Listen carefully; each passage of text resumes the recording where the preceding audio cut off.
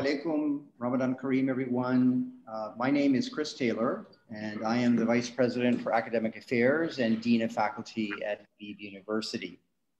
I will be hosting today's session with an esteemed panel of guests.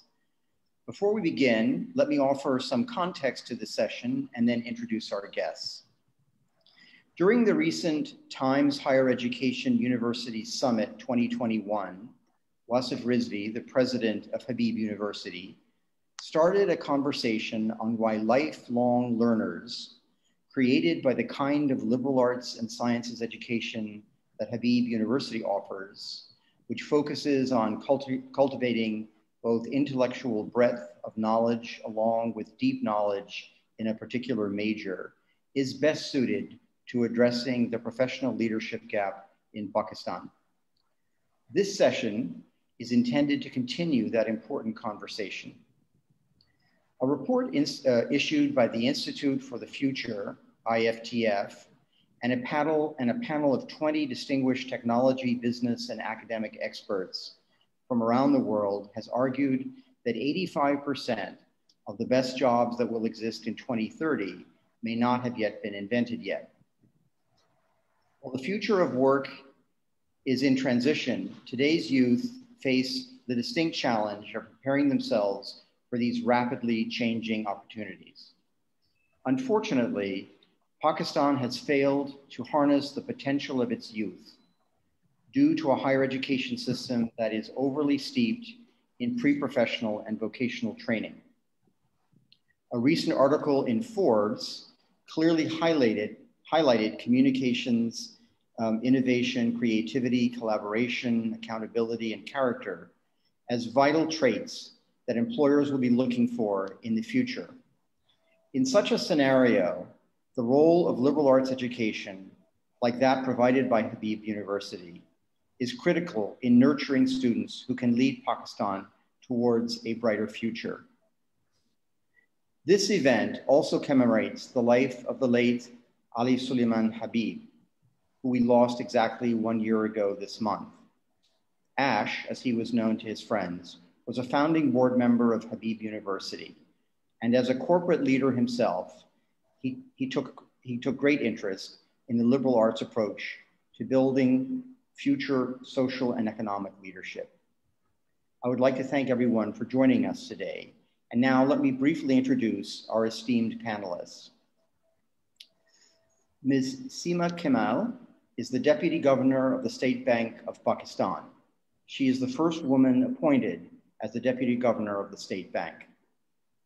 Sima has over 35 years of experience in diverse fields of commercial and investment banking, along with corporate financing. She has previously served as the president and CEO of UBL Corp and United Bank Limited. She, she is also a member of the Karachi Education Initiative. Welcome, Sima. From the agriculture sector, we have Mr. Nadir Salar Qureshi. He is the Chief Executive Officer of Engro Fertilizers. Nadir brings with him expertise in multiple sectors across the Gulf Cooperation Council region, Turkey, Australia, India, India, the ASEAN region, and the EU. He is also experienced in consulting, private equity, and finance. Welcome, Nadir, and thank you for being with us this afternoon. From the automotive sector, we have Ali Asghar Jamal, Jamali, the chief executive of the Indus Motor Company, which manufactures Toyota cars in Pakistan.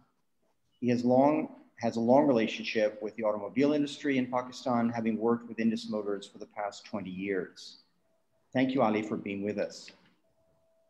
Also representing the banking sector, we have Mr. Mohsin Ali Nathani, the president and CEO of Habib Metro Bank, he is a seasoned corporate banker with over 25 years of banking experience, covering both East Asia and Southeast Asia, the Middle East, and the Levant region.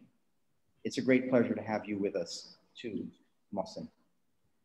Um, from the media sector, we have um, Mr. Naveid Siddiqui, CEO of the renowned news and current affairs media channel of Pakistan, Samaa TV, uh, he has extensive experience of managing and developing national media projects in Pakistan. Welcome, Nabi.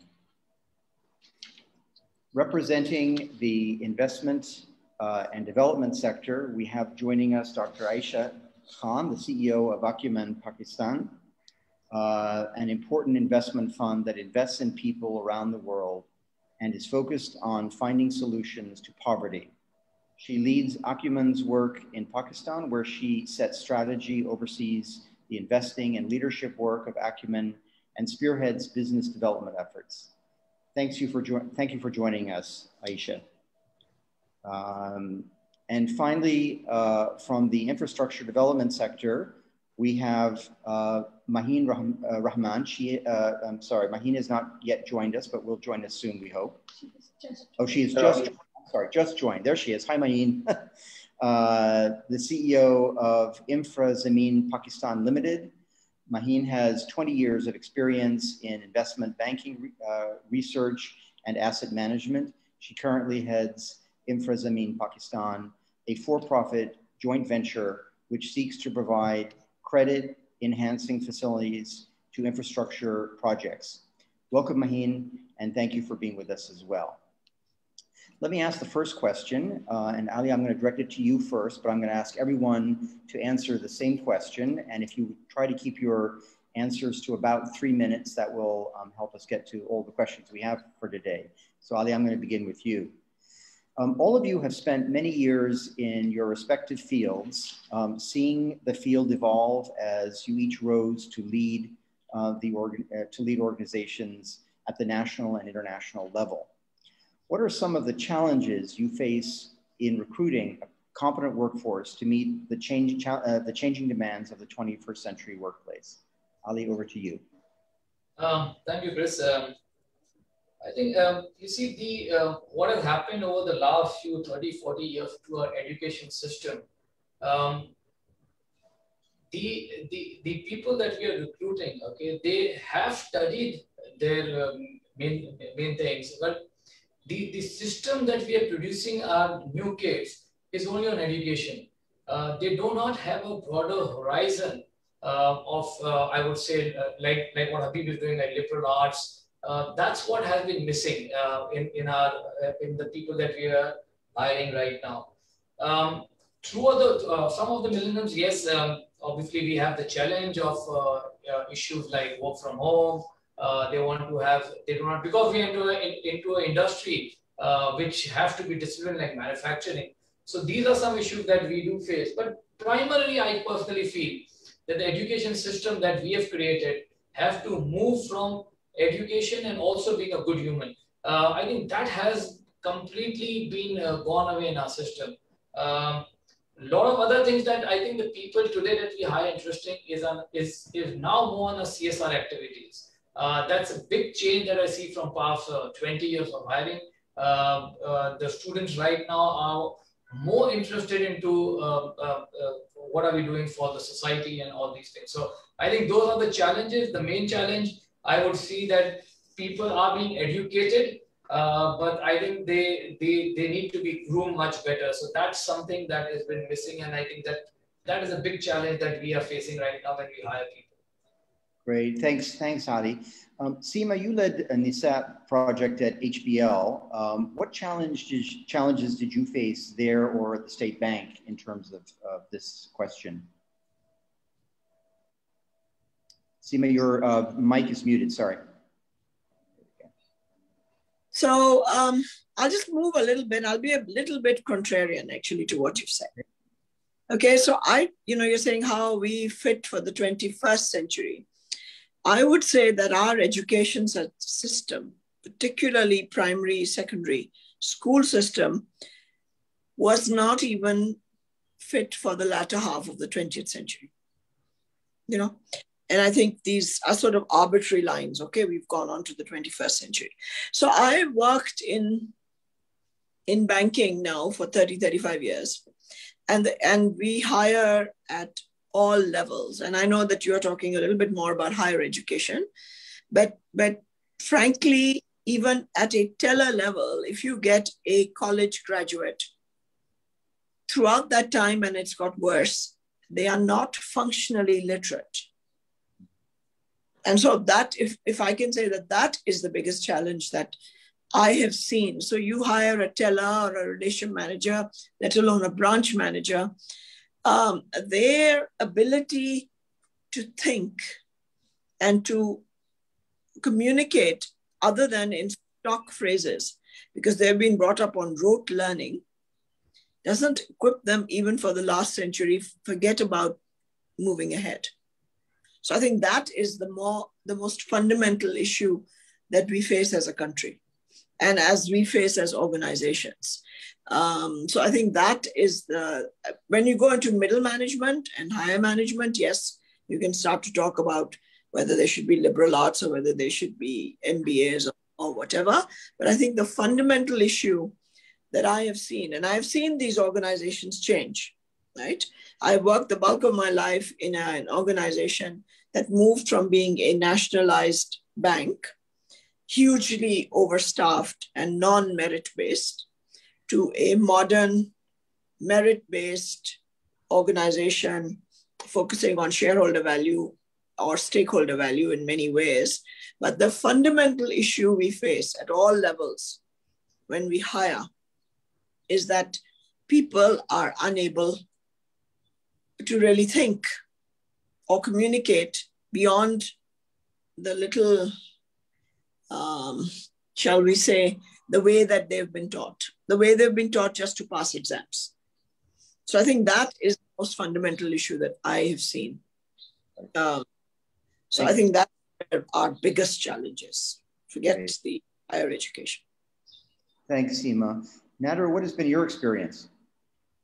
So, Chris, um, if I may, I'd like to answer your question in two parts. One is what the challenge we face, the, the battle in front, and then what, what the challenges as we see them going into future. So we run large scale industrial uh, uh, enterprise, much like Ali does. And, uh, and, and we're, we're a very proud part of the Engro group of companies. So our, our, our objectives are twofold, right? To have really good engineers and then to create general managers. That's what we're aiming for uh, over the course of careers. But both of those things are apprenticeship type uh, activities. So we hire fresh engineers from institutes across Pakistan, the best the, the country has to offer. And we end up running them through a one year specialized training program, uh, what we call our graduate trainee engineer program. And it's about a year uh, plus. So they actually can be useful to us because the raw college graduate he kind of knows what a pump looks like from a textbook. He knows what a turbine looks like from a textbook, but he's never had any experience of what this thing looks like in person and how it may operate. So that's a year-long program uh, where we pay for their training. Uh, essentially, we hire them and we pay for their training before we, we let them close to uh, any of our equipment on a on a managerial basis. And then the next part is, you know, over their careers, they learn. Uh, we try to groom them uh, for from a general management perspective. We rotate people. But I think, um, and so the challenge that we have today is the, the graduates that we're finding are not functionally competent. Uh, building very much thematically what, what Sima was saying, the, what our schools or higher education universities are producing are not functionally competent. Even on the management side, we used to have a, a GMP program and we're revamping that now. Uh, but they're just not functionally competent and, and that's the battle in front is, is how do our higher education uh, institutes produce a higher quality of graduate that's functionally competent. But to, from, from our perspective, where we do long-term planning for our people and careers and so forth, at the end of the day, if you look at our own model, right, general management and engineering are talent a lot of that has been experience based you you learn things you get good at pattern recognition you've seen the problem before you can diagnose it in the future whether it's engineering or management. But these skills are largely going to be obviated in the future. So elon musk who has not failed at any earth moving enterprise that he's done thus far is working on Neuralink which will be a, a, a brain implant that then allows you to interface with computer technology so imagine having the entire this, uh, wealth that Google can provide at your fingertips. So that experience and, and, and pattern recognition becomes less important.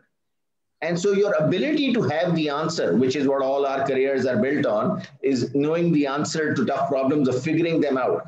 That becomes far less important. And what becomes important is the ability to ask the right questions. And I think that's an area where a liberal arts education really helps because it gives you kind of a holistic perspective across disciplines and hopefully that learning uh, from multiple disciplines enables people to be in a better position to ask the right questions. Because I think going forward, that'll be the really important skill set, not having the answers. The answers will be available to you through an AI interface, uh, and the wealth of human experience will be available on your fingertips. But asking the right questions is what will be the talent going forward. Thanks, Nadir. That's that's very helpful. Um, Naveid, uh, the, the communications and media industry has changed dramatically over the last couple of decades. Um, what are the challenges you're finding in uh, recruiting a, a, capable workforce? Well, you rightly said that electronic media in Pakistan saw a boom just about two decades ago. Was just after 2002 when we saw this mushroom growth of private TV channels after nearly a four decade monopoly of the state broadcaster. Trained people who were familiar with the mechanics of, let's say, a 24 hour news channel were literally next to none. It took a good part of the next decade and a half people with a background in print media to sort of come to terms with the transition of, from filling a newspaper once in 24 hours to filling the content of six to seven hourly news bulletins in a day. There was a lot of trial and error the, the hurried pace sort of posed a major challenge to the central part of the old guard. And of course, there were major adjustment issues. And then we saw the rise of a new monster, the digital media, where sort of audiences got younger and attention spans even narrower. And now the pace became sort of so frantic that there were severe burnout issues. If you talk specifically for Samaa, we have two different newsrooms. The TV newsroom, which requires a fine balance of some experienced people familiar with the sort of craft of telling a human story with brevity and impact at the same time. And of course, the young guns who have the hunger to make a difference with their passion of news gathering. The digital newsroom is a lot younger, with the average age being around 26, 27. There is a lot more idealism, a lot more cavalier attitude, also a lot more of indecisiveness. The staff turnover is also higher because uh, sizable number of people haven't really sort of made up their minds whether they really want to take journalism as a career or not. Apart from these, a major challenge for specifically, not just for the media industry, but more so because it compounds it further, is that in the last three years, uh, has been the direct impact of an economic slowdown and a retardation of growth, because that invariably affects the advertising spend of the entire corporate sector uh, in Pakistan, unfortunately, the financial model of almost all media houses sort of make them completely dependent on direct advertising. So when you have a 35 to 40% reduction in overall advertising spend, all media houses are forced to sort of review their cost structures. And in beginning 2019, there were major cost reductions, massive layoffs running into three digits. So barely had these adjustments been made that COVID-19 happened. So yes, apart from the uh, things of finding the right skill set uh, customized for media. In the last three years, has also a major challenge. Great. Thanks, Naveid. Uh, Mohsin, you've worked across half the world um, over the past couple of decades. Um, what have been the experiences that you've had in hiring competent people? Um, thank you very much, Chris. Uh, you see, the, the important thing is uh, when we are looking to hire people, in the past, there was a lot of focus on technical competence. Uh, and uh, over the last decade or so, there has been enormous research that it's not only the technical skills which are critical, other softer skills are far more important. For example, uh, we've all read a lot of material on EQ versus IQ. Uh, and we see that in leadership positions, especially, that is far more critical that we have people who have the ability to deal with people um, and work under an environment that are where you know you have to have extensive interpersonal skills. So that is something which has been very very critical for me in my in my career.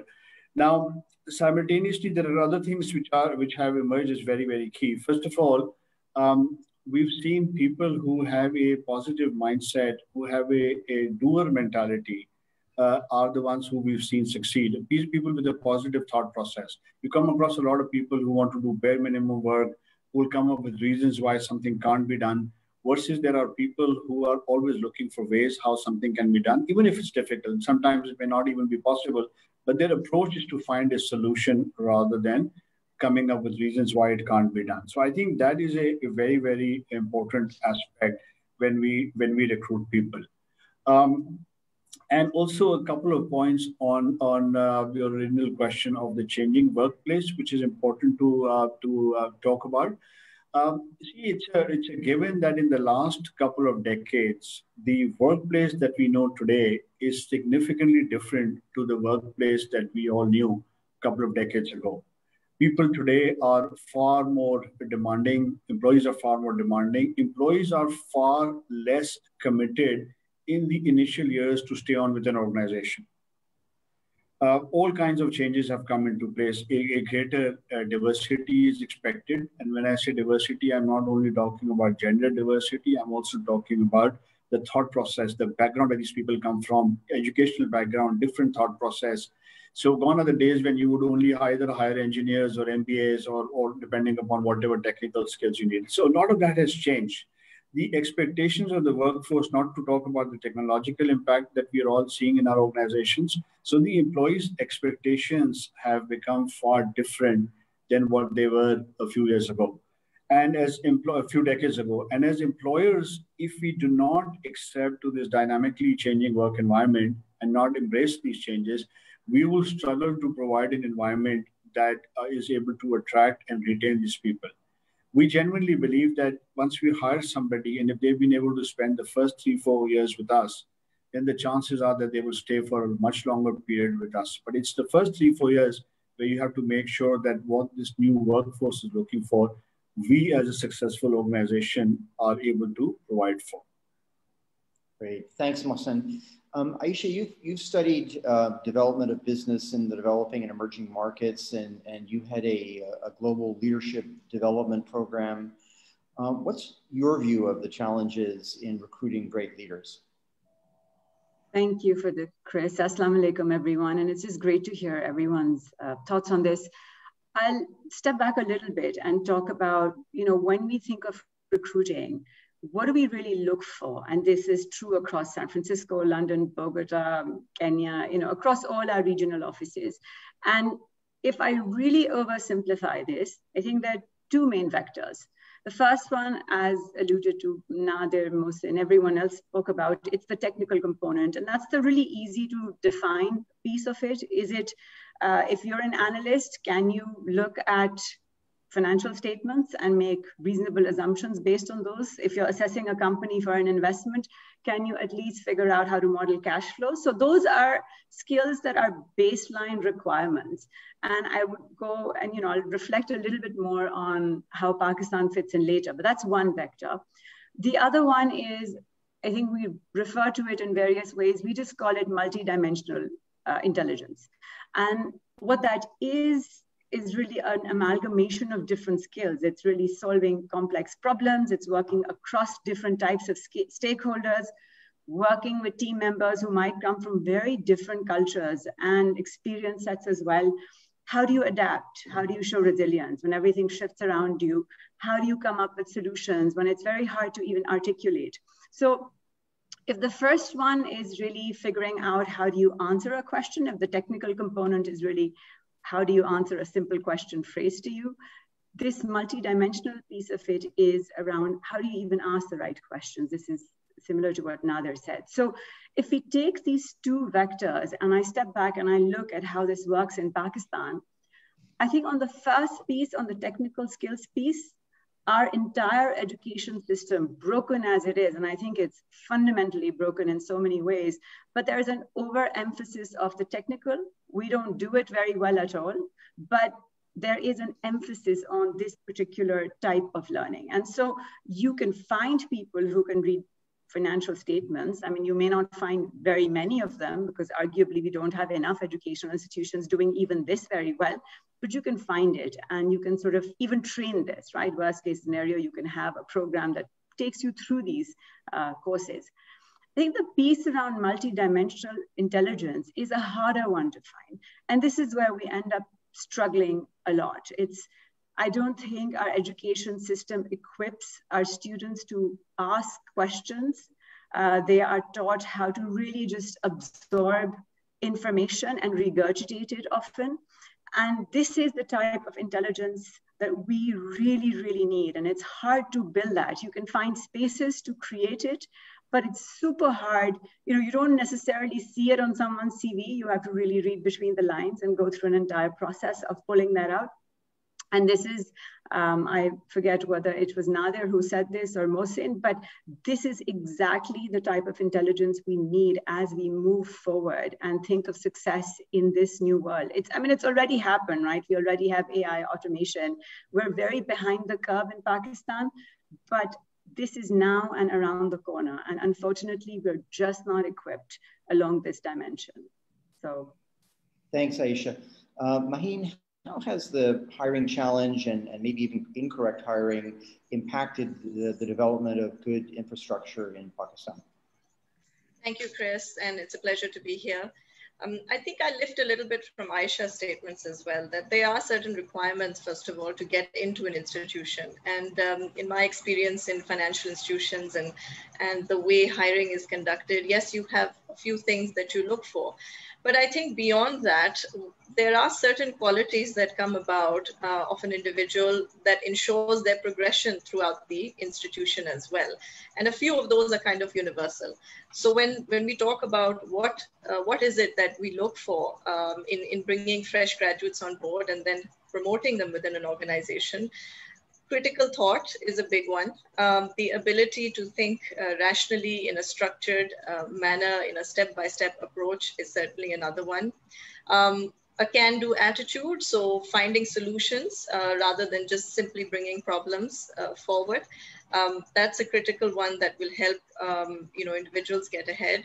And then a big factor is also the, stu- the, the, the person's ability to project themselves and to communicate well. Uh, because I think without the communication element uh, within an organization, uh, it, it is hard to get your point across and it could be a very intelligent individual, but if they are unable to communicate their thought process, then that will certainly hold them back. Now, I think when I think of universities in Pakistan, there may be one or two maximum that are able to inculcate some of these elements uh, into their student body. But by and large, the emphasis is very much on rote learning, uh, on an exam-based, uh, you know, approach, which unfortunately is, in my view, very outdated now. And I think nowhere is this more obvious than if we pick up what's happened in the last one year for online schooling uh, under COVID. And all of a sudden, you have a student who can go to a university online or can do online classes locally. But then that university has to make that content relevant. Otherwise, what is to stop that student from picking up a university abroad and doing that same course online. There will be a huge, huge difference. So I think the entire schooling system, the entire university system in Pakistan is going to face challenges in the future just by way of competition of international schools who offer similar degrees online. And if we look at the way COVID is progressing, I don't think it's going away anytime soon. So the ability to generate new content in our universities and in our schools has now become, uh, I would say, of an urgency uh, that we haven't really seen before. Uh, so there is not just a need to recognize that students now have options, um, but also they will flow towards those options that give them the best chance at, pro at progressing in their careers, whether that's in institutions or whether that's in entrepreneurship, um, you know, whatever it is that they choose. So I think the challenges are suddenly immense. Um, and, uh, you know, it, it's going to take a, a, fairly large effort on the part of both financial institutions, um, corporates that do hiring on how to really attract and tap talent that now has access to other um, uh, other options uh, abroad and retain that talent. Um, I think one of the biggest things Pakistan has faced is that our best minds, after a certain amount of time, tend to go abroad And uh, because of that, uh, you have a situation where what's left here just doesn't have the uh, ability or has not been trained uh, to really think uh, in, in the manner that is required to lead organizations. Thanks, Maheen. And you've all given us a lot to, to think about here. Um, let me move on to another question, which is uh, around the globe, the value of holistic and well-rounded um, education, one which balances um, theory and practice along with both breadth and depth. Um, it's being advocated, especially by advocates, uh, of those of us who advocate for uh, the liberal arts as a, as, a, as a challenge to the 21st century. But let me ask you all, how relevant do you think that this, these holistic uh, education models, such as the sort, uh, such as the sort that uh, a liberal arts institution such as Habib University offers for uh, nurturing future leaders um, who can drive uh, workplaces uh, to success in the 21st century, or um, simply what are the key factors uh, that new graduates need uh, to make business successful in the 21st century from your uh, perspective? Sima, I'd like to start with you on this one since you have had experience with young people given your involvement with um, KGS, Karachi Grammar School, and uh, the Karachi Education Initiative. Sima, your um, mic is off. Sorry. Sorry. I think um, I think it's you know I've come from an MBA background, right? And um, and all of and most financial institutions tend to go towards that. And I am frankly quite opposed to it. Mm-hmm. So I, you know, when I went through my MBA and, and giving a bit of personal context, our daughter went to the UK and did history degrees, right? Mm-hmm. She did her first and second degree in history. And when I read what she did, I realized how superficial an MBA is actually, right? You know a little bit of most things and you know the buzzwords, mm-hmm. um, and you don't get that ability to think that a history degree or a degree in any of the liberal arts or in, in, in literature or in philosophy. So in the older days, when someone went into investment banking, say in, in the big names in, say, London, they actually had philosophy and political science, right? They did those PPE things. So I am actually very much in favor of a more holistic uh, education, very much. And now at the State Bank, for example, we obviously need the technical skills, right? We need people with a very sound background in statistics, in economics, um, and, and accounting, and they build major big models to predict what's going to happen to the economy and so on. So those technical skills are certainly needed, but from a managerial or general management point of view, I would much rather that we got someone with a very good degree in, in, in the liberal arts than an accountant. Because those skills can be taught internally or by, by, you know, by management training programs, but the ability to question and the ability to challenge, the ability to think out of the box, you know, I, I don't really like that term too much, but yes, to innovate comes from a liberal arts, but a true liberal arts. And we have very little true liberal arts. And, and, and I know that Habib University does that well. Uh, but our, um, our general education does not really teach the liberal arts well from the questioning perspective.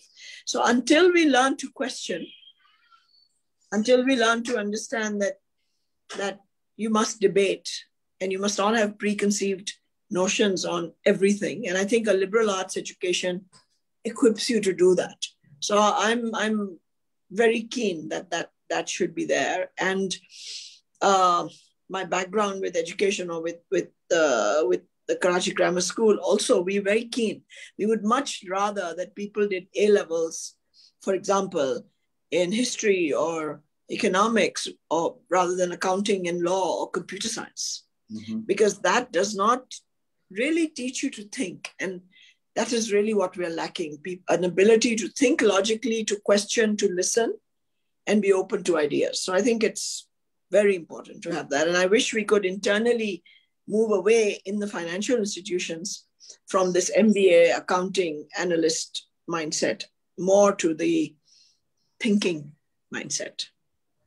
Thanks, Sima. That's that's obviously music to our ears. At the uh, through our liberal core at Habib, as you know, we uh, we believe that uh, engineers need to learn philosophy and history, and and uh, computer scientists need to read Faiz Ahmed Faiz and and and great Urdu poetry and, and literature and so forth, and and um, those who study philosophy also need to know something about programming. So that's the that's that's really um, great to hear. Uh, Maheen, let me ask you um, how you nurture or think we should be nurturing uh, youngsters to lead in a modern um, developmental uh, workplace. Okay, so I would go out on a limb here and say that I think that 90% of what we do inside financial institutions can be taught. It's not rocket science. Um, and so, what we really look for uh, in an individual, whether they're lower level or mid level, is do they understand what they're doing there? As individuals, do they understand their role in the team? Do they understand what it is the company is trying to achieve? Do they have the bigger picture in mind?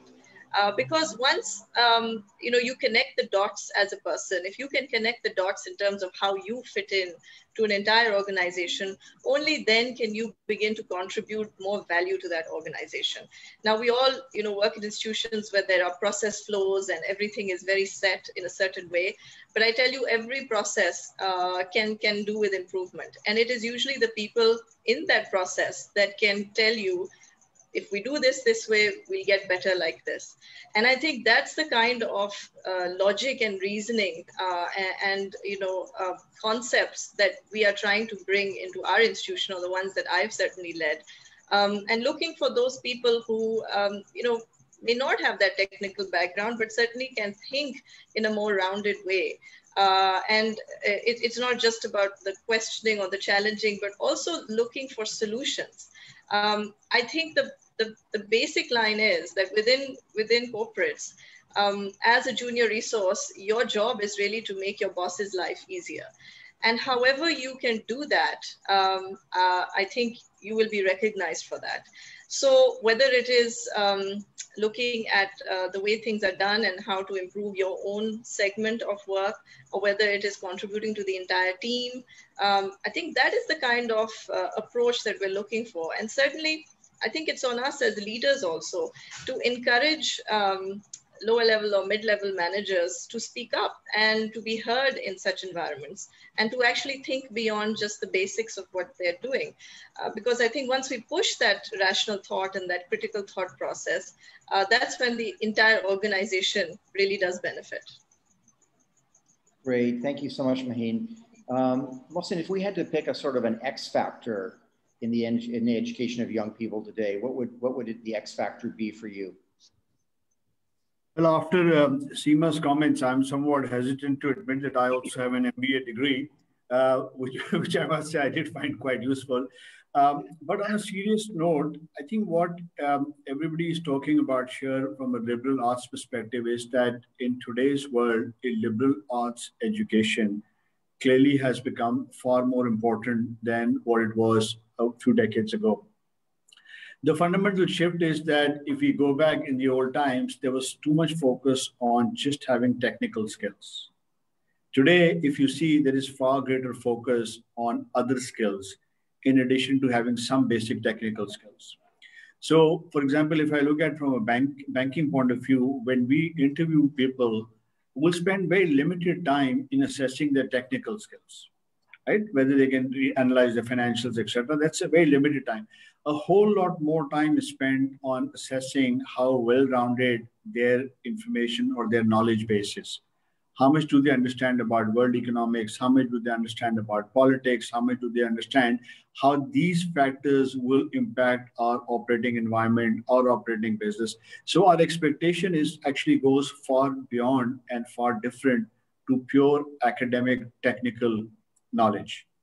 I think that has been the uh, from from a from a educational background point of view. I'm going to first talk about educational background, and then I'm going to talk about the softer things that we look at when we interview people or when we are identifying talent.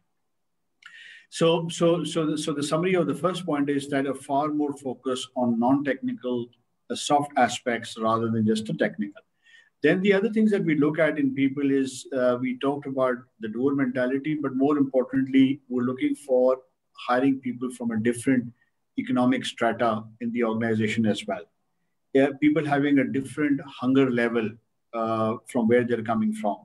Uh, uh, a lot of these things, a completely different thought process. We, when we hire people, we try and hire people who, who come from across the country rather than one or two or three large cities only, because it helps us understand, have, have a pool of talent that has a mindset that reflects the, the whole the, the operating environment of the whole country or the whole nation as opposed to specific geography.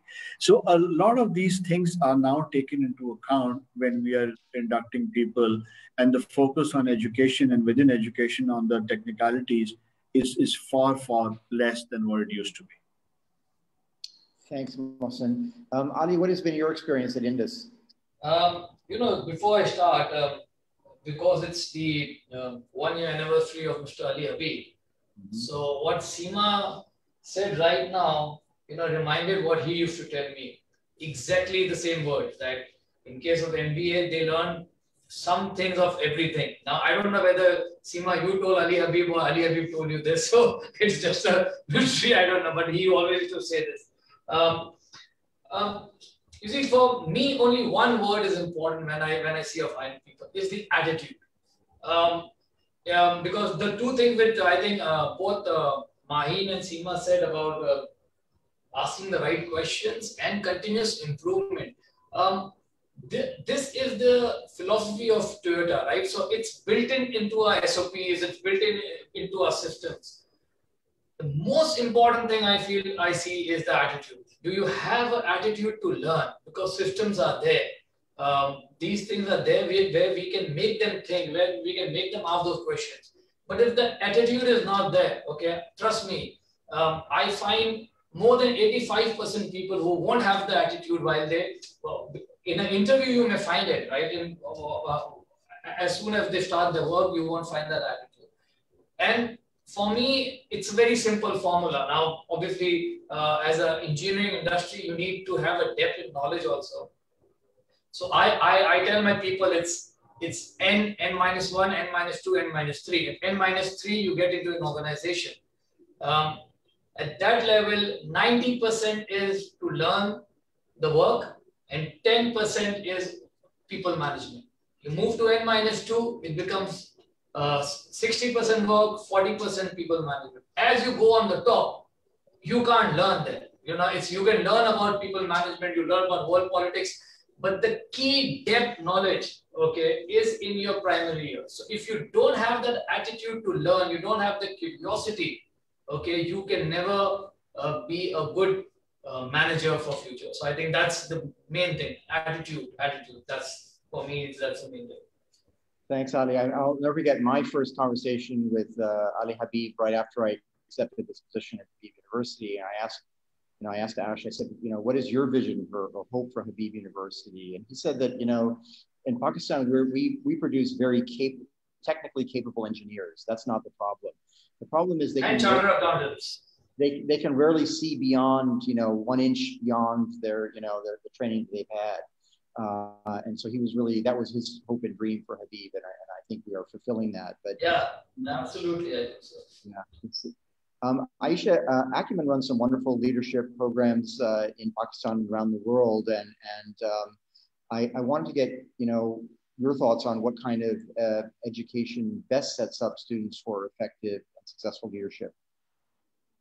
Yeah, you know, I think we all have this rather romantic notion of leadership as these highly charismatic individuals who are out there orating beautifully and dispensing these very quotable nuggets into a very adoring public. But you know, in reality, and really the most robust sort of leadership is a very deeply insightful process of understanding a community, being within that community, being able to actually move various parts of that community in a way that the sum is greater than its parts. So whether you're a corporate leader or a political leader or a leader in any, any small way, you need to start really with this deep understanding of what is it that you're trying to do? What is the change you're trying to affect? And why? And so when we go into what is required in order to get to that, how do you start even asking the why before you actually get to the what? I really go back, and, and by the way, I should admit that I have spent six years, six years at a business school, so probably you know uh, getting a doctorate. But asking the why, I think, is really grounded in going back to the basics. Um, you know, so many of the great canonical texts that we have in front of us. And you can refer to them from the Western canon and the Eastern canon. We have our books, the holy books that are very important. I think everyone should read them and figure out the lessons. But learning from not just the philosophers of the West, which is you have your Plato, Socrates, Marcus Aurelius, but you have a whole Eastern canon as well Confucius, Ibn Khaldun, you have Ibn Sina. And so going back to what has been done before and understanding that in order to articulate your why, to understand how communities function, how individuals work, how do you figure out your own motivation? So it's a deep journey of first is going out and seeing what's out there, but then a lot of introspection on figuring out what is your own why why do you want to lead? What do you bring to the table that is uh, going to actually bring everyone else up? And ultimately, it's an act of service. It's not an act of pulling yourself up over everyone else, but it's deeply, deeply grounded in community and service. So starting with that is really what would set you up for leadership. Right, and I, and I know that Acumen has, really places a lot of emphasis on on moral paths of leadership as, a, as an important uh, you know, dimension of this. And I, I, couldn't agree with more with you about um, you know, being in touch with, uh, with the roots, so to speak, and, and at, at, at, we offer this wonderful course called Hikmah as part of the core, where they do read Ibn Khaldun and Ibn Rushd and Avicenna and Al-Ghazali and, and uh, Ibn al-Arabi and all sorts of great thinkers. Um, and I try to remind them that, you know, there, you know, Muslim thinkers were, were reading Plato and, and Socrates and Aristotle long before anybody in the West was reading them. So I don't think those are just Western, Western, uh, Western thinkers. Um, uh, let me ask you what kind of education um, uh, you think uh, we need in, in, order to create sort of capable, able leaders in the future? So must do the obligatory mea culpa also have MBA, but uh, Anybody here have an arts degree? so I'll, uh, but but I'll, I'll I'll try to answer your, your, your question with a bit of a personal anecdote. Right. So you know, I I went MIT did nuclear engineering for five years, hardcore engineering. So MIT used to have a requirement you had to take eight humanities, 8 uh-huh. humanities. And so I, I got the opportunity to study Islamic literature, where I discovered I discovered Rumi, you know, I, I got to study sociology. I did a concentration in economics, so I can read anything in the Wall Street Journal well before my MBA and actually understand what they were talking about. Uh, and so I, I got to do those things. And at the end of the day, if you ask me today, so quantum thermodynamics, I don't really remember, but you know how the how GDP works and the the the the, the Stoic uh, philosophy of Islam that comes from the Sufism sect and, and how that relates to our modern life and how that is in contrast with consumerism as we experience it every day. Those are things that I relate to more and more, uh, perhaps at, towards the latter part of my career than, than what the fundamental skill sets were. Mm-hmm. But I think the, the and, and we, in, especially in Pakistan, where we get very, very concentrated very, very early, um, I think we, we do our young people a disservice where we don't expose them to the arts or the humanities or history for that matter, unfiltered history. Um, uh, and I think that's really, really important. I mean, I learned more about the history of Pakistan when I had left Pakistan than when I did here, because the stuff that was taught here was cookie cutter, sanitized version of a political view that wanted to be presented. But how confusing and and how Jinnah was the reluctant leader who absolutely never wanted to go down that path, and he only went down it when all doors were closed to him. These are only things I learned when I was outside of the ecosystem and I had access to unfiltered history. Uh, and of course, you know, I'm dating myself, but this is pre-internet where I, you didn't have access to this information uh, if you were in Pakistan. So I think it's really, really important that if we are to create, and it's not just employees or leaders, if we're just to, to create good citizens, that they have a holistic view of the world and they see the world for what it is. And our education systems in Pakistan just do that a great disservice. I mean, the curricula that we generally run are incredibly managed, sanitized versions of what really happened. And if for some reason it serves a political agenda or whatever you, you may have, but at the end of the day, I mean, questioning aside, that's a, you know, we've all talked about that, that, you know, you you have to question. Questioning aside, just the quality of the curricula that's on offer um, is, is incredibly limited in its scope and gets tighter and tighter the moment you hit tertiary education. It gets very, very tight. And, and so, as, as I think Ayesha was pointing out, we're, we're uh, or, uh, or Ayesha Maheen pointed out, that we're producing subpar technical specialists. And that that's not a recipe to, to, to be able to serve in life, just, uh, just in life, let alone for, for, an, uh, for uh, for a company or if you want to succeed from that perspective. And I think that's that's where the biggest gap, just having a better curricula where you learn about life and the world as we find it. Uh, and, and that only comes with taking a broader view, with taking a broader view. You know, even in the British system, right? So in O levels, you have to have a minimum of six subjects. Most people have 10 or so, 10 or 11 in levels. You have, you have to have a minimum of three, and people take four. And then you go to university for three years for specialization. That's the British system because they at least gave you a broad uh, grounding earlier on. I think in, in most of the education systems that are available in Pakistan, we, we're not really doing that, or if we're doing it, we're paying lip service to it. Um, you know, I, I took in, in O levels, I took O level biology, and and the things that I learned there still stick with me today. So when a doctor writes me a prescription or I open the medicines and I kind of try, you know, I can still little knowledge is a very dangerous thing.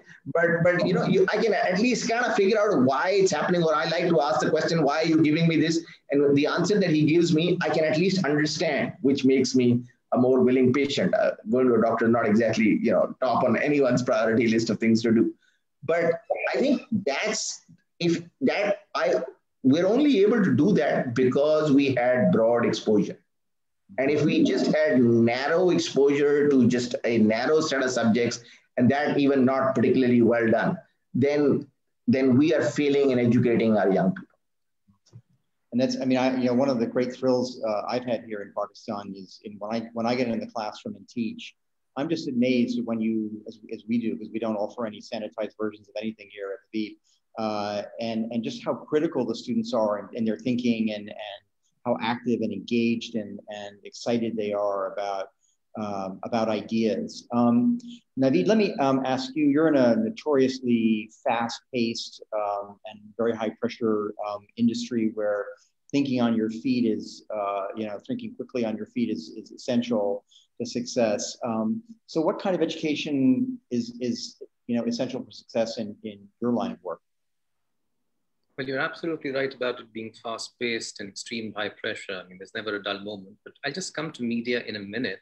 I just feel that, you know, the, the critical important issues in this is to consider that the apex body responsible for the regulation of higher education in the country, the Higher Education Commission or HEC as we call it, it actually claims to have a mission. And that is that to facilitate institutions of higher education to serve as engines of socio-economic development for Pakistan. I mean, wow. After going through that and other things on their website, I was left wondering where is the part about critical thinking? Where is the part about lateral diligence? What about inference? What about leadership? You know, it, it reflects a very elementary, basic thought process from literally the previous century, which they successfully end up making very laboriously, you know, unidimensional. Mm-hmm. And unfortunately, that is mirrored in the educated workforce to a great extent. Mm-hmm. Now, having been part of the electronic media landscape since the mid 90s, besides, of course, that makes me feel like a dinosaur, but it also makes me happy to notice that we have at least moved to a stage where media is being considered as a proper career option. Maybe not as one of the top five lucrative career options, but at least it's come a long way from the times when it was considered one of the last sort of resorts after all of the choices have been exhausted. Uh, for the longest of times academically, the mass communication department of Karachi University sort of served as a safe haven for all career aspirants in media. Now, of course, there are bachelor degrees in media related studies being offered by, you know, at least a dozen universities. The Center for Journalism, the Center for Excellence in Journalism, CEJ at the IBA, even offers a master's program in journalism. However, that holistic approach is, is still found wanting in, in the vast majority of graduates. Empathy, you know, it's, it's something so critical in journalism. So is the ability to sort of communicate effectively without coming across as self-virtuous. Mm-hmm. Anchors or correspondents or, or anyone who's news gathering, you know, constantly need to be checked to refrain from crossing over to becoming either televangelists or, you know, resorting to moral policing. Prime job of a news organization is to highlight a particular issue and raise pertinent questions. It is not our job to become tools, you know, in the process of either making or breaking governments. It is not our job to become part of the process of certifying what is right and what is wrong as far as moralities are concerned. And it is not our job to impart verdicts on what is religiously correct or even ethically wrong. And this constantly needs to be imbibed by all those who are either part of the media or those who wish to be a part of the media in the future. And on a lighter note, all it takes is to remember some very simple but effective advice from a childhood comic hero. With great power comes great responsibility. Never thought I'd be quoting Spider-Man at an education center. Thanks, Naveid. Uh, and I, you know, we're, we're, really excited about our new um, communication design program, which I think will be a real, a, a real path breaker here in, uh, in Pakistan. Um, let me go on to the third question, which is uh, that, uh, and, and, Ayesha, I'd like to start with you. Um, Pakistan has a, a, significant youth bulge. It's currently the uh, fifth uh, largest country in the world and, and will probably surpass Indonesia in the next uh, decade or so. Um, and yet it has a flagging economy. Um, how can um, leaders in, in each of the industries that you represent partner more effectively with educational institutions such as Habib um, to nurture the kind of young talent that um, Pakistan will need uh, to become prosperous as we move towards Pakistan 100? Yeah, Chris, I'm so glad you asked this because uh, this is one of the most critical issues facing Pakistan. I mean, we have a whole set of critical issues to address and look at, but this is amongst the most serious ones that we're imminently facing. And to really just put the problem in full color, look, two out of three Pakistanis are under 30 right now, roughly. And um, when you look at that, that's a population of 220 million. Two out of three are young and under 30. Mostly they're not educated or ill educated. Mostly they're in rural areas. Add to that the fact that our population growth rate is still 2.7% and our GDP growth rate is either half that or less. So you really are left with this fundamental, you know, kind of mismatch between what we can offer our young people and this whole mass of young people entering. So every year about, I think it's 4 million young people enter the workforce and they need one and a half million new jobs and we're not really creating any. So what happens when we don't create these jobs and you leave this large youth bulge vulnerable to all sorts of things, to being disenfranchised, that's a very basic one. But then you're also vulnerable to extremism and all sorts of things that are not going to push Pakistan towards any positive path. In fact, it's something that can possibly destroy us in a real, real, and very immediate, imminent way. So this is a critical issue. And I feel like if we don't work together and address it, unless we figure out the problem of how do we leverage our youth and make this a strength, this will determine whether Pakistan succeeds or doesn't succeed in the next couple of decades. And so going back to what we can do, I think we've been touching upon the first question you asked was about the type of education that is required in order to train the right workforce. That is the right workforce for this country. And actually, really, we're more and more in, you know, I think Friedman said it ages ago, like the world is flat. There's a whole global war for skills and talent, and we've missed almost every revolution that has come, the industrial, the you know IT. But in this one, how do we how do we tap onto this and create really, really high value individuals who are able to then push and create things for the future and to sustain Pakistan. So that's one. We really need to figure out how to get the education model right.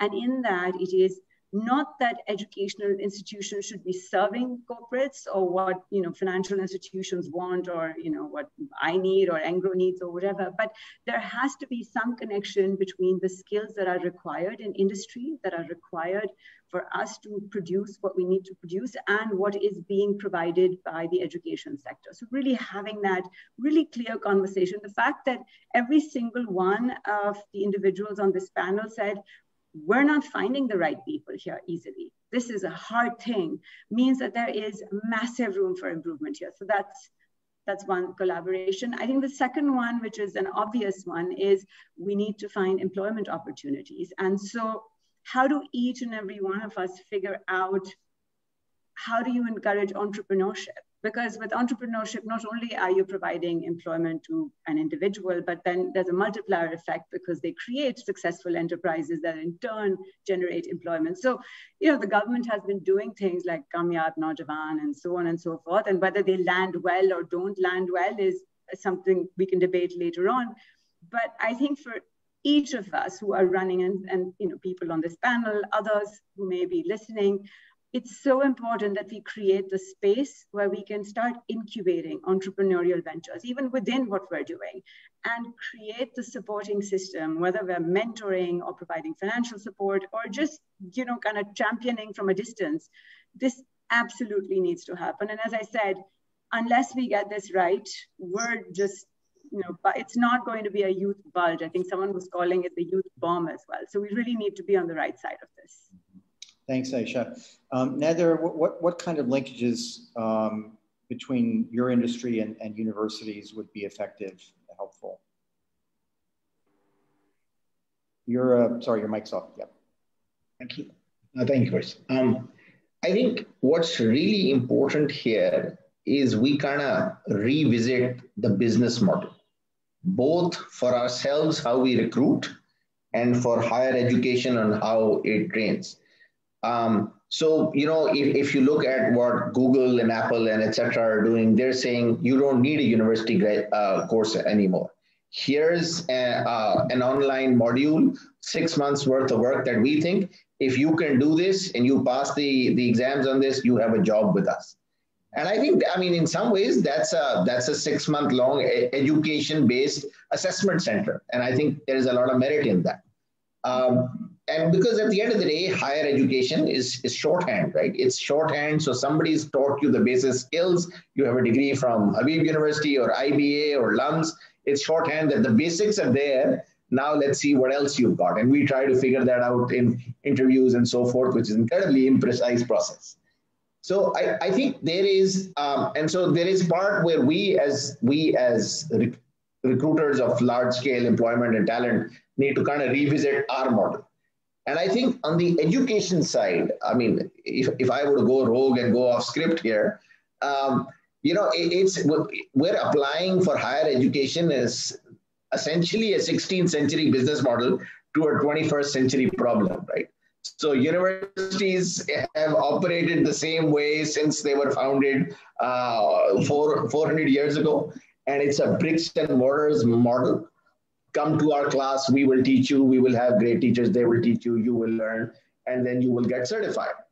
And I think that model in itself is, is inevitably going to get disrupted massively And with what's happened with COVID and how we are communicating today and how uh, higher universities, uh, I mean, universities abroad are operating where kids are still in Pakistan, but they're attending class in the UK or the US, I think this model is going to fundamentally change. And that really needs to be brought in where technology will massively lower your cost to serve. So my understanding is Pakistan has about 25 million people in in uh, in, in, in you know who in secondary school, and barely a million seven make it to, to tertiary education. So of course, these are economic factors, etc. But clearly, th- that pipeline got really, really constricted really quickly. And part of it is outreach, right? Habib University can only serve so many students. And I think designing programs whereby the universities use technology so they can lower their cost to serve and have a much higher pool and then perhaps some tailoring on how that pool for the skill sets that particular organizations want would be an incredibly symbiotic relationship.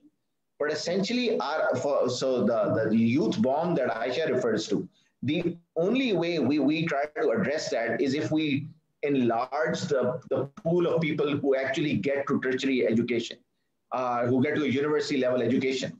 Um, because if we don't do that, then they are going to have substandard skills and, and Pakistan just com- continues to lag.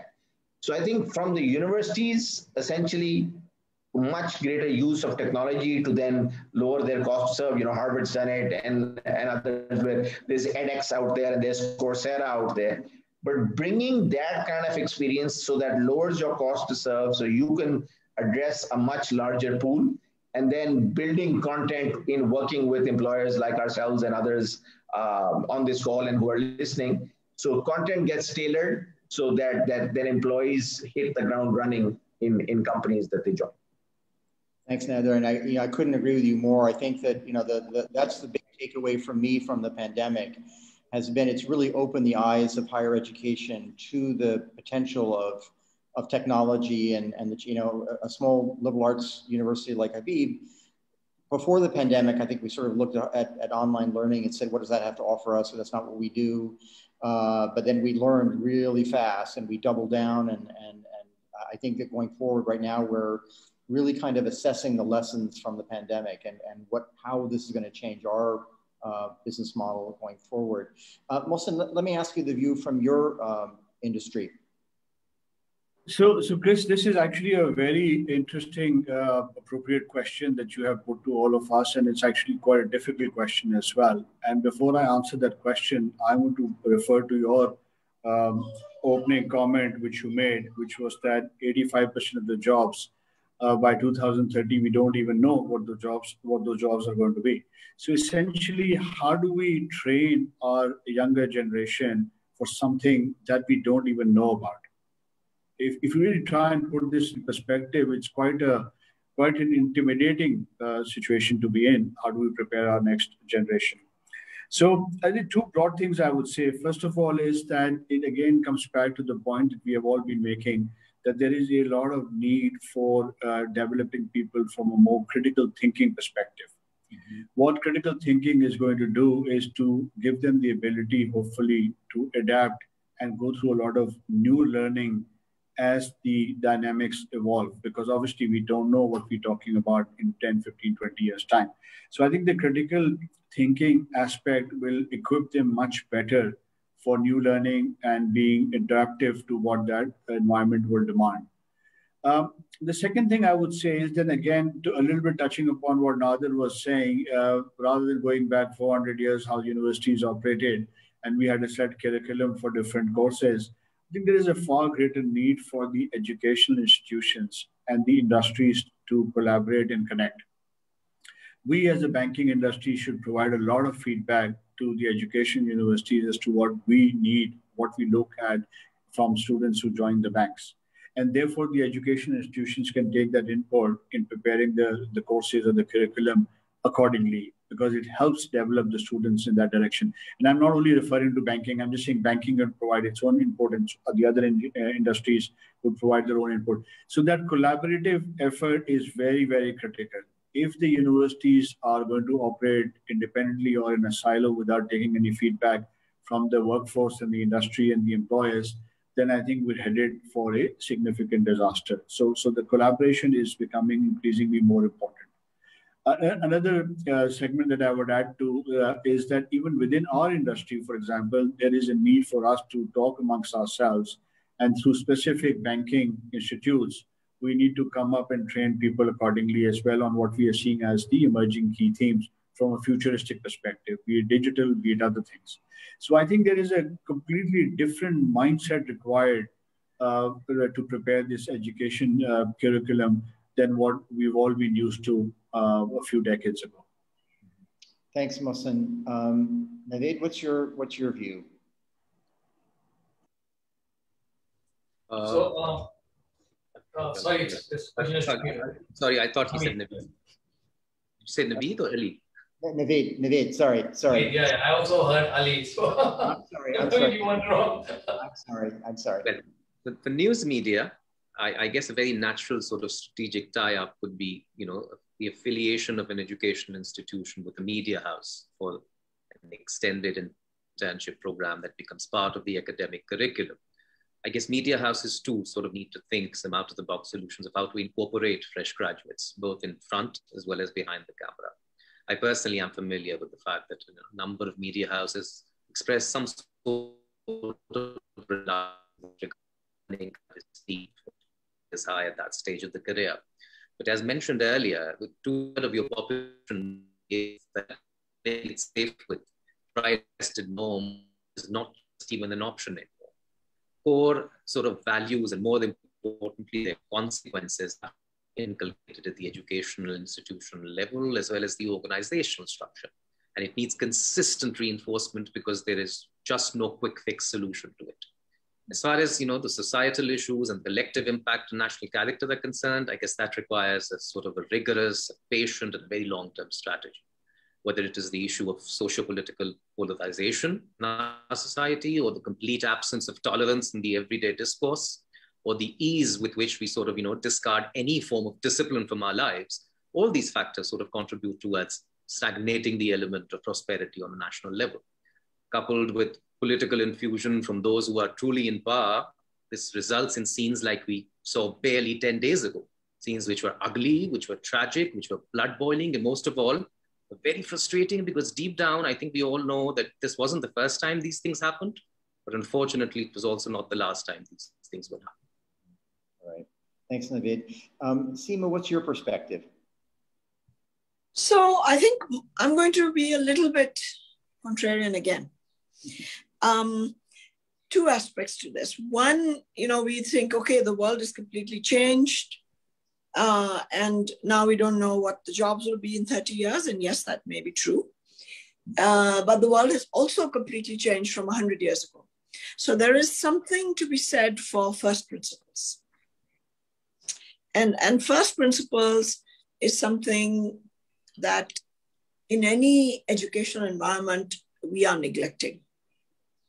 So people have in, in our country have lost that ability to rely on first principles to guide them. Yes, we faced an industrial revolution and the world is entirely different to what it was 100 years ago. And in 30 years, it will be entirely different. And the jobs that come about will be entirely different. Yes, but we faced that before. And so I think, um, you know, there this whole fear that what what is going to happen now has happened before. And so I think um, it's important to realize that and to and to not kind of panic. So that's one aspect that i would like to highlight. Um, the other thing i would like to talk about is your the collaboration between uh, employers and particularly large employers and uh, and educational institutions. You know we always talk about it. It's got to go beyond the lip service there's just too much lip service in, in all of this, right? So we talk about it, and the state bank, for example, is is there's two parts to it. There's the operational bit, and the core state bank is really a knowledge organization, right? We work with knowledge on, largely, and um, and yes, we talk about collaborating with educational institution. So we will talk about it today, we will write about it, but then we will go and do nothing. Right. And we were, and everybody has said very, have been very uh, articulate and have said very beautiful things. But we need to go beyond that, really. So if we're going to do something, then we have to go ahead and actually do it. And I think that's where the, the gap lies. Of course, we must collaborate but then, you know, what's going to happen? We will go away from this session, we will go back and do our jobs again. Mm-hmm. Uh, so, unless someone takes a real lead on this, we just go on in, in the way that we are. So, I think, and where does that onus actually lie? Does it lie with, with the government to some degree? Does it lie with large organizations like us? Yes, it does. Does it lie with you or the academia. Yes. But I think we have to go beyond the beautiful words and the lovely quotes and all of that and actually do something because this youth bulge, if you start educating someone who is born today, you have to go through it for 20 years to make any difference at all. And not only do we not educate them or we educate them in very narrow ways, many of them are stunted, malnutrition. They're not even able to learn, let alone anything else. So I think we have to we have to tackle this in a way that is beyond the words. So that's really the two things I would like to say. And if anyone really has a passion for this, then they really have to take it up. And it's got to be beyond webinars. Great. Thanks, Sima. That's really, really poignant. Um, Ali, uh, Indus um, does reach out to students at various levels, um, but I'm wondering if you think that there is still room for improvement um, even, even there. You're muted, sorry. Yeah, so I think this uh, word improvement is, you know, it's built in our DNA, right? So uh, the basic um, two pillars of Toyota is, is one is uh, Kaizen, which is continuous improvement. So there's always room for improvement. So in anything and everything we do. Um, you know, while we've been discussing about, um, about our youth, we also need to be mindful, okay, of what will happen in the future, right? One is obviously we're talking about higher education. How many people will take higher education? Majority people, okay, after matric or inter, okay, they look for jobs. So somebody has to even think. You see, on a broader vision, the government has a good education system. Okay, that's a long-term view. They do it, and we have a generation uh, going to higher education. Okay, but meanwhile, we have to work on this aspect also. So for many many years, what uh, we do is as as Indus Motors as Toyota, that we take fresh, fresh, fresh intermediates and we have a training program. Um, so before we put anybody on the line, uh, we put them into this three months training program. Um, this three months training program teaches them how to ask the questions, the five whys, right? So they open up the horizon, what, how to think. Um, it's been a dream, and it was a dream of uh, our late chairman Ali Habib to make to have so much supply of these people because for many many years we bring a batch um, we train them and we consume them. Because there's a lot of attrition in pakistan because a lot of people come uh, and join us thinking oh it's toyota. Okay, so they will have a, maybe a, a, nice sofa a nice chair and nice office but they have to work on the line right? Um, so there's almost attrition but we are very happy because when we train them we've trained them into these aspects of how to ask the right questions, um, continuous improvement, the safety standards. For whatever work they do, okay, that's the limited training is going there. Now, for future, what we want to do is keep on hiring, okay, and come to a point, okay, where we have more supply and we give them a certificate, which is a Toyota certificate trained in, in this uh, aspect, and then we can. This is how we want to contribute to the society. Um, all these people that have left, uh, also that they go, then they go into UAE, obviously they have better opportunities. But we have to have two-fold strategies. One is, okay, actually three-fold. There are people who are not getting education. So we need to get them basic education. Then there are people who are getting the basic education, how to get them jobs. And then there are people who want to move from the basic education to higher education. So I think there's a there's a three-term approach. At least we are trying in the second bit, which is once they get the basic education, matric or intermediate, how to get their mind open and how to make them more skillful. So I think that's what uh, how we want we are and we will contribute to the society of Pakistan. Thanks, Ali. Maheen, I'm going to give you the last um, the last word on this one. Uh, what are your thoughts? And if I can sum up what I'm generally hearing in the room, um, I think I'm also going to say, say something again a little bit contrarian. I think we've talked about you know the, the demographic bomb that's sitting there. I think the thing is also that young people are not it's not all about handling young people and giving them jobs to do. Uh, if you harness the positive energy of young people appropriately then you can bring a sea change in the way um, society functions and the way um, you know the contribution that they can make to economic growth. So i think the challenge that everyone is highlighting is how do we bring that positive energy uh, and harness it towards a better good?